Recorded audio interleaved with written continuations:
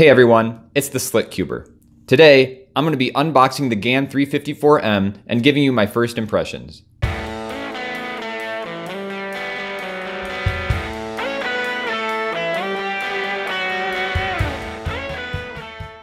So the GAN 354 is the new cube by GAN, and this isn't a successor to the SM, this is actually kind of a new line. As the name suggests, it is 54 millimeters, not 56. Let's go ahead and just get right into this box. This is the box that came in. Uh, it was wrapped in bubble wrap and had an envelope on it, but I took that off off camera. Uh, so let's go ahead and just take this off. Got a nice sleeve here over the box. Don't need that anymore. Uh, here's the box. Pretty standard little black box. Let's go ahead and see what's in it. Okay, so first thing we have is we have the puzzle itself, and it comes in a neat little case like this. I gotta say, it is really weird seeing a GAN puzzle in stickerless. It's gonna take some getting used to. Um, we have the usual pamphlet on how to solve it. I'm assuming most of us don't need this since you're usually not buying a GAN puzzle unless you already know how to solve a 3x3.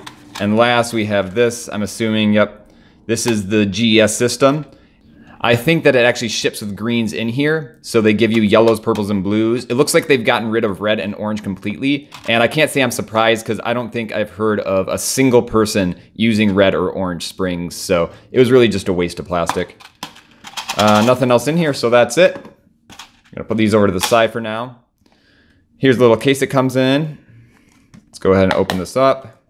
It's also wrapped in plastic on the inside. And see if I can open this. I find it kind of funny that I can basically solve Rubik's Cubes in my sleep, but it takes me forever, there it is, to find the opening for the package. All right, so here we have the puzzle itself. It is a stickerless GAN puzzle, which is really weird. One of the first things I noticed is the black internals. You can even just kind of tell looking through there. It gives it a really like dark feel. It makes the colors look kind of darker, kind of similar to how, like here we have the SM, kind of similar to how I've always felt like the black black sticker cubes make the colors look just a little bit like they pop a little bit more just because surrounding by black you get that kind of contrast. This is kind of cool in that it's a stickerless, but it's still it's really dark on the insides and in between the pieces, and I really like the kind of look. Uh, we also have this new magnet positioning system that they introduced in the GAN 460 where the magnets are placed right here so you can see them. Right away feeling it, uh, I can tell you that the plastic is not slippery at all, which I wasn't too worried about, though I do have the uh, stickerless 2x2 by GAN, and my only complaint about this is that the plastic is like a kind of frosted slippery plastic and it's it's not a problem too much of the time, but every once in a while in the middle of my 2x2 solves, this will kind of slip out of my hand, and I just was worried that they might use it the same for this, um, so I'm glad that they went to just normal plastic. All right, let's go ahead and give this thing some first turns.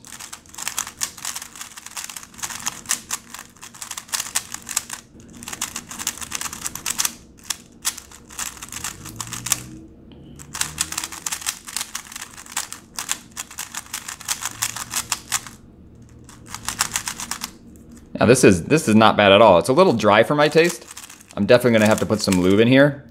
Um, it's a little loose. Uh, M slices are a little hard because it's I'm overshooting them because it's way too loose. I'm definitely gonna have to tighten it and add some lube to kind of slow it down. Um, but other than that, it's it's really not bad at all. There were some lockups, but I'm like 99% certain it's just because this is it's way too dry and loose for me right now. I think once I put some lube in here and maybe even replace the green ones that are in here with the yellow ones, uh, this will definitely be very, very good. One thing I noticed while I'm solving it is that the corners are a lot sharper than the SM. And that's something that I don't really think about ever when I'm solving because it's never really been like a big drastic difference, but this, this has some definitely sharp edges.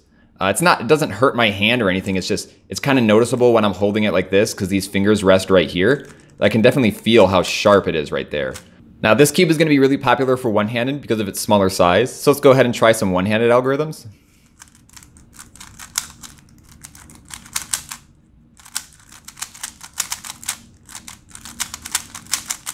It's it's really loose. Um, it's it's not too bad, but it's just it's way too loose. I can't I can't seem to control it.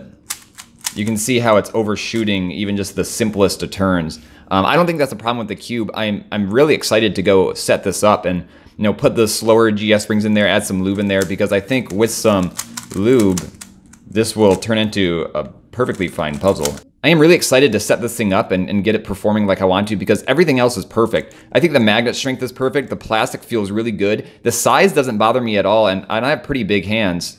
This is the GAN Air SM and it's 56 millimeters and you can see in my palm it doesn't even really touch the sides of my palm. I, I have very large hands. My pinky is longer than one side of the GAN. And I gotta say the 54 millimeters on this does not really bother me at all. It's I don't think that's what causing all those lockups that I keep getting. I think it's just, it's too dry and it's too loose. I need to tighten it a lot more. Uh, let's go ahead and take this apart and look at what the internals are.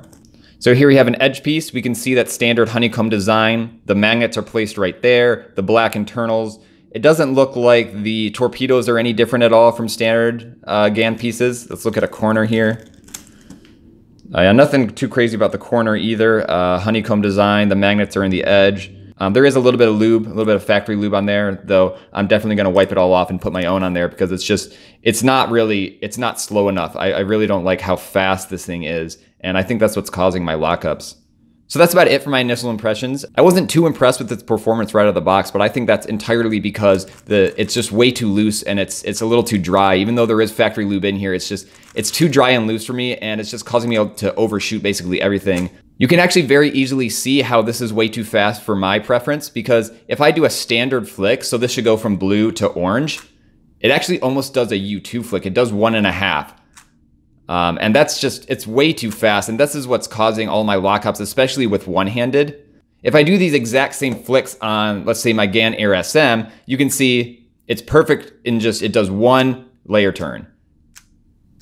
There's no problem at all. It doesn't overshoot or anything. But if I do that same strength back on the 354, it almost does a complete U2 flick. And that's just the main problem I have with this cube. Everything else is really nice. The plastic feels nice, the magnets feel nice, the size does not bother me even though I do have large hands. Uh, I like the look of the black internals, I like the look of the magnets, I like the shades on this thing, I like the weight. I like everything, I just don't like how loose it is. So I'm really excited to go set it up, and I will be doing a full review of what I think about this cube after I set it up and solve it 200, 300 times. Uh, so look for that in a couple days. It shouldn't be too long before I have that up. Thank you guys so much for watching, and I'll see you next time. Bye.